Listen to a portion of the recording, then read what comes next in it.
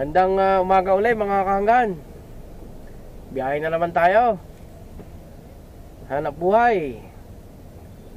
Para sa ekonomiya. Ah, kabababa lang nung anak ko sa trabaho niya sa Makati. Kaya may pupuntahan na tayong pasahero. Madalas din ako nakakakuha mga kahanggan ng pasahero dito sa Aqua Private Residence na ito. Dito ako pipick up ulit ngayon ang uh, pasahero po. Morning, sir.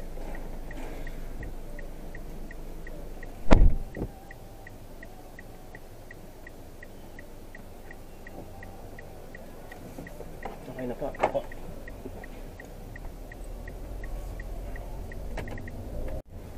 Naibaba na natin yung isa mga kahanggan. Kukunin natin yung pangatlo. Malapit na ako sa pick up location ng pangatlo mga kahanggan. Kahapon ay hindi ako nakabiyahe kapot. Ako may inasikaso din. Parang nakakamiss, nakakamiss bumiyahe ng grab. Iba't ibang ah, lugar yung napupuntahan.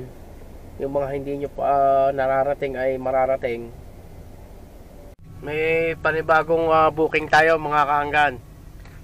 Ito po yung G na yun, yun yun yung application ng Grab. Pag pinindot natin yan, yan lalabas siya.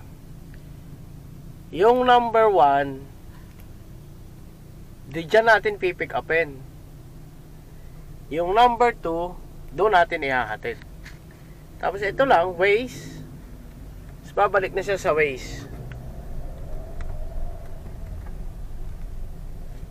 So, puntahan po muna natin to mga kahanggan. Trap. Pagbaba mga kahanggan ng aking isang pasahero, hindi pa siya bumababa, may nag-booking na. Kukunin natin siya sa College of St. Benilde. Tapos, ihahatid natin siya sa ito. Ihahatid natin siya sa Arbos Lane. Arbor Lanes Nexus Street Arca South Western Bikutan Tagig ang pamasahe po niya ay 410 pesos yun. Ayun.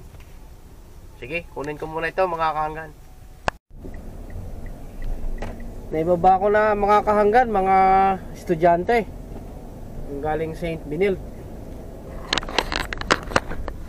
Itong dinadaanan ko mga kahanggan, ito yung FTI dati. Na ngayon pala ay punong-puno na rin ng mga kondo.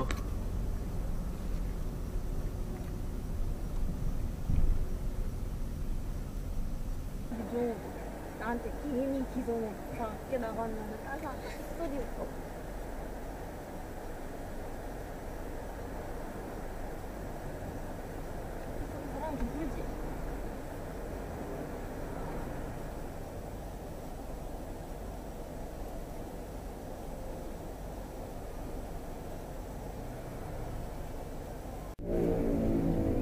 Mga kahanggan, balik na uli.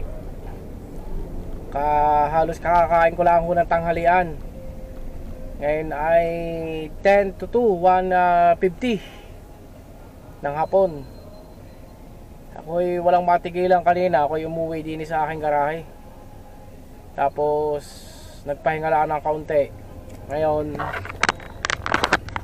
ayun, may pasahero tayo mga kahanggan. Apat na tigil. Dalawang sundo. Dalawang tigil. Tigil ta sundo tayo sa Pasig, sundo tayo sa Port Bonifacio. Tapos papuntang Naiya. Ah, ah, grab share. O, puntahan muna natin mga kangga na re. Isa ay kukunin sa Hampton Garden. Diniyo sa Pasig. Ang pangalawa ay sa Corporate Center Entrance. Sa Pasig din. Yung isa ay bababa ng BGC, Uptown Place Tower. Yung isa na A Terminal 2. Ah, na A Terminal 3. Hindi na naka-video mga kahanggang kanina at ano. Pagbaba nung aking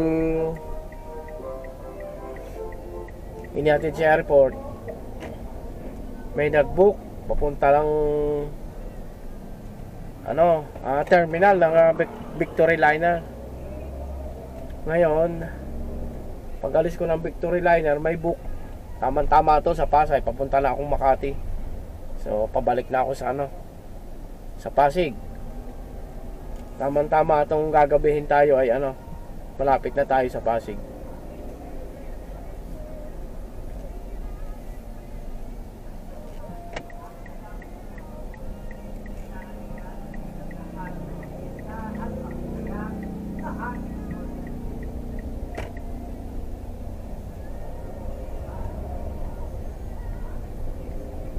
Ano, masikip yung dinadaanan natin ngayon dito sa parting Makati na to.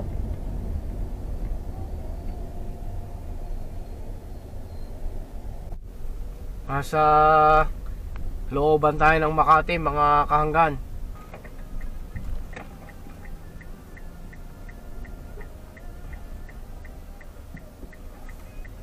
Hindi nyo makita ganun.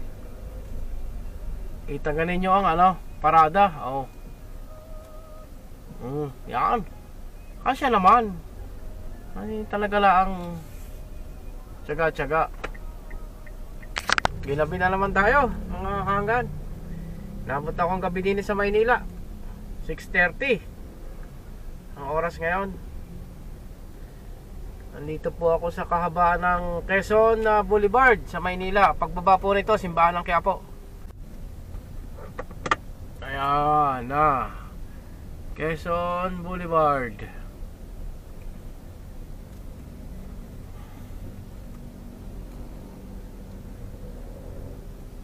Traffic. Wala, talagang kailangan tiisin ang traffic. Eh, balikan ko kayo mga kahanggan. Ari pa lang ay, ari pa lang Quezon Boulevard na rin mga kahanggan, ano? Ari, pagbaba na rin, nakakaliwa, yan yung simbahan ng Quiapo. Tapos pagka iibabaw kayo, sa gawing kanan, recto. Pag didiretso, Espanya. O, sa ilalim tayo. Punta tayo ng De Los Reyes. Sige, maya maya ulit mga kangkan.